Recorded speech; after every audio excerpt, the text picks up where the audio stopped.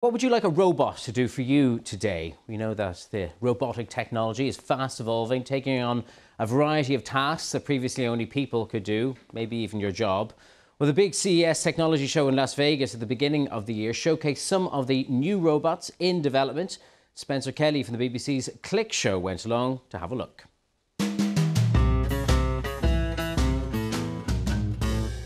Don't know about you, but I still love a robot. Here's one that's making me a latte.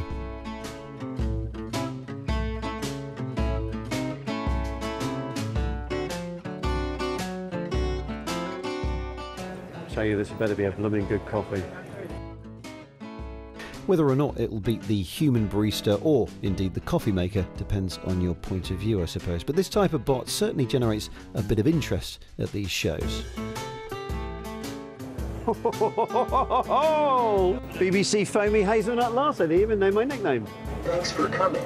Have a nice day. I will, thank you very much. Mm.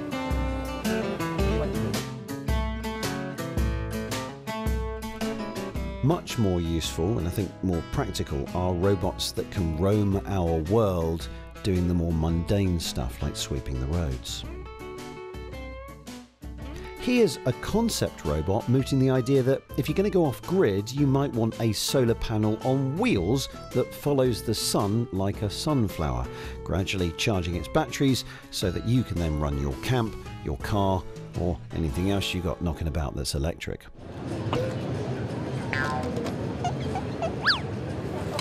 I'm just waiting for my next guest in this robot themed section.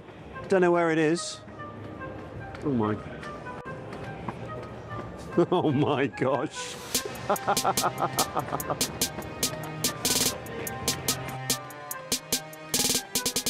This is H1, a remote controlled prototype from Chinese company Unitree.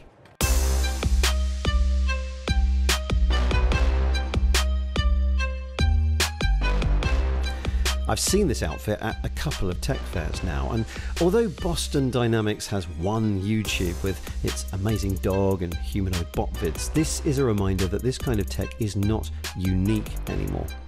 H1 is nowhere near as advanced as some, but it does have the basic balancing skills, which means it can certainly handle some action from a kid from the mean streets of Vegas. All right. I've always wanted to do this.